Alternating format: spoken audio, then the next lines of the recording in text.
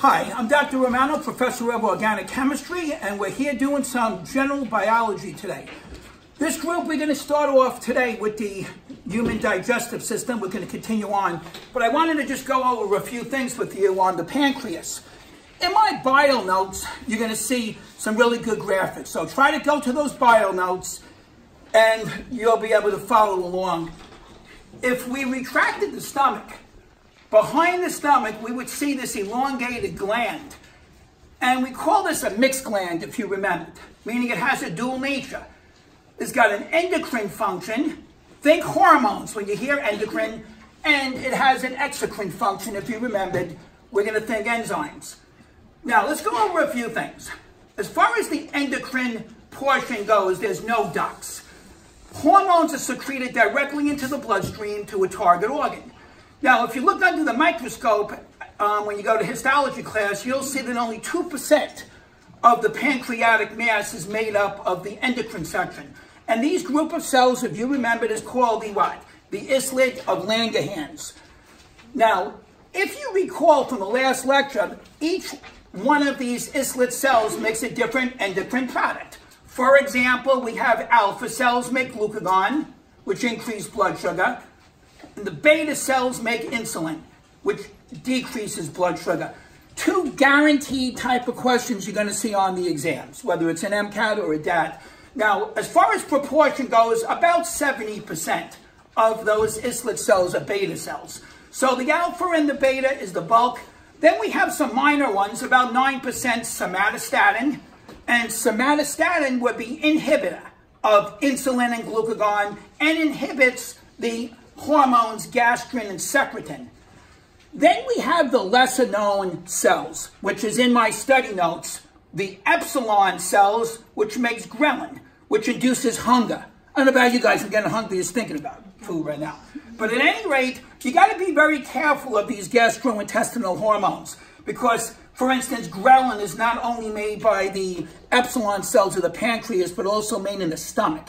Remember when we went to the stomach, I didn't mention that in the last class, but that also makes ghrelin. So you got to be a little careful because a lot of these GI hormones are made in other spots. And then we have the pancreatic peptide or PP cell. These cells make pancreatic peptides in a very small percentage. So you have these five types of cells that comprise the islet of Langerhans. I think for the DAT exam and the OAT, the first three are the most important.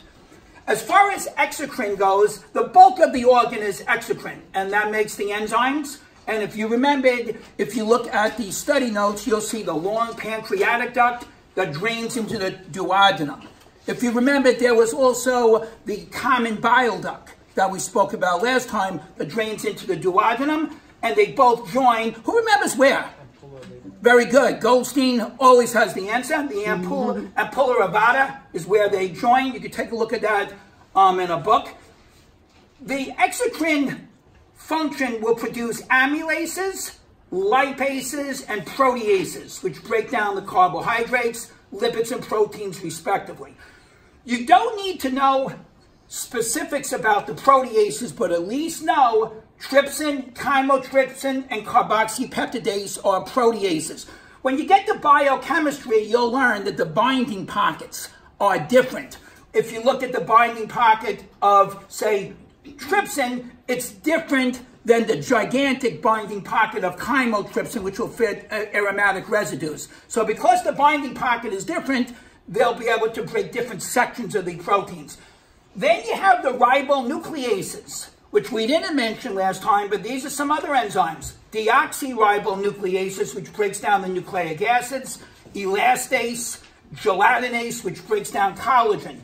I also mentioned that bicarbonate in water is also secreted by the um, exocrine cells, and they decrease the acidity coming into the small intestine from the stomach. Finally, you should remember, if you go back to my notes, that secretin and CCK um, these are made by the enteroendocrine cells of the duodenum and the jejunum, and they control pancreatic secretions. I think if you know what's here, I think you're in good shape for the DAT and the OAT, and you know my bio notes. Be very careful as far as the bio goes. As I told you guys, there's a whole group of student, dental students at Columbia who think they're authors. They actually plagiarized the Campbell book. They reworded Cliffs. They reworded Kaplan material. And when you reword something, you lose context. And when you lose context in something, um, often there's errors. So I wouldn't really do anything with the bio. If you need to look something up, I recommend Leland Johnson, who is a PhD author, and Neil Campbell. He's a PhD. These are dental students trying to rip you guys off for time test or something like that. So don't go near any notes like that. If you want to see any notes, um, like I said, go to a PhD written textbook. And I also think Barron's and Cliffs, they did a pretty good job, um, as well as my bio notes. All right, we're going to be moving on today, um, moving away from the GI system and going into the types of cell lines. All right, that's it. Bye-bye.